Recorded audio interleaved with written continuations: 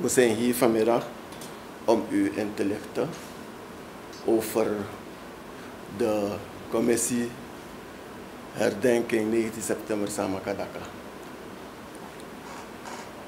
De commissie is niet zomaar ontstaan vanwege de gebeurtenissen uh, in het verleden met onze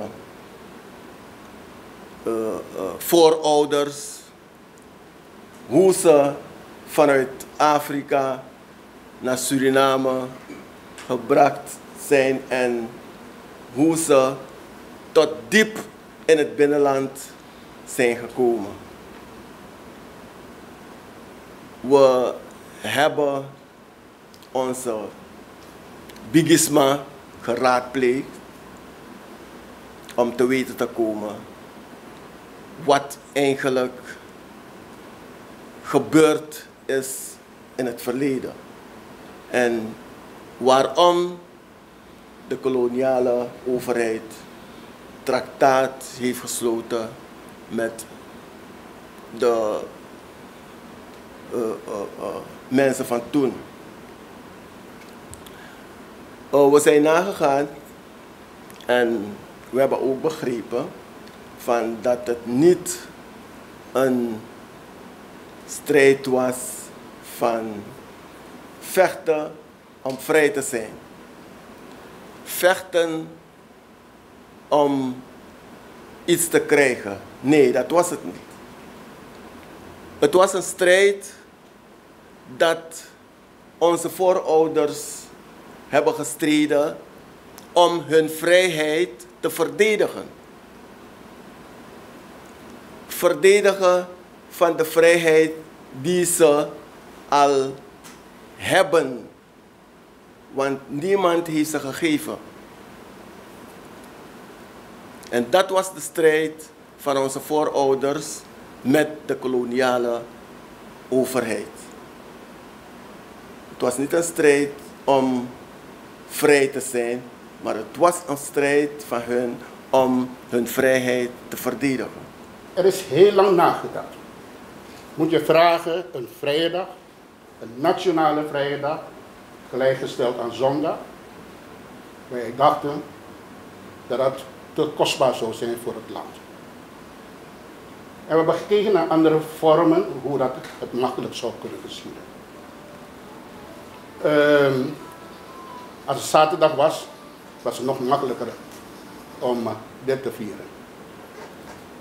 Maar om te voorkomen dat er een conflict zou kunnen ontstaan met het bedrijfsleven die weer een dag zou moeten opofferen, naast de vele vrije dagen die we hebben, hebben we een bewuste keuze gemaakt om deze keer de vraag te richten om het de Saramakaners mogelijk te maken om op deze dag, de 19e, zoals de voorzitter gezegd heeft, de dag groots te gedenken en te vieren.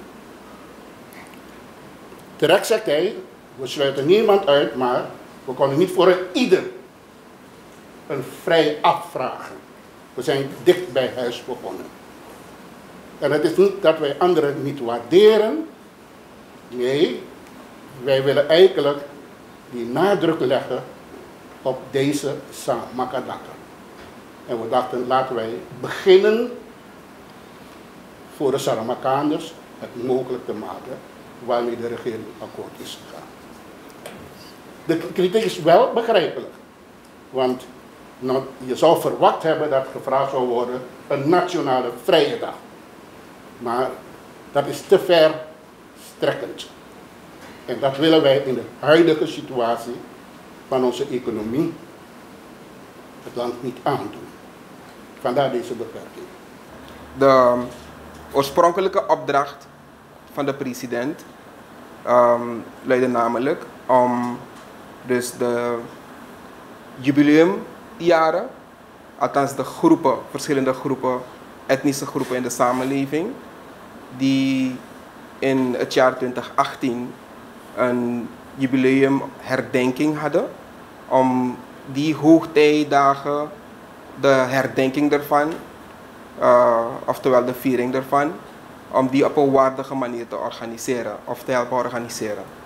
En zo hebben we dus gehad um, herdenking van 105, 145 jaar Hindoestaanse immigratie, 155 jaar Kitty en 165 jaar Chinese immigratie. Uh, gaandeweg de voorbereidingen, uh, gesprekken die er gevoerd zijn met verschillende maatschappelijke organisaties en ook met uh, diverse andere belanghebbenden, zijn er ook, of althans is de commissie ook benaderd door verschillende groepen om ook voor wat betreft de viering van de speciale dagen die uh, toegewezen zijn aan, aan bepaalde groepen, bepaalde etnische groepen, om die ook te helpen organiseren.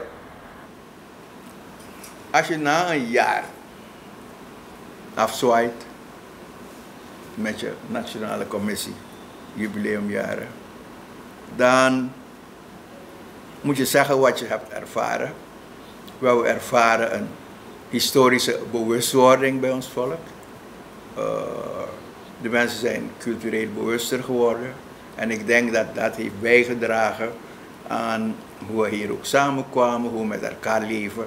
En ik denk dat uh, we goed op weg zijn.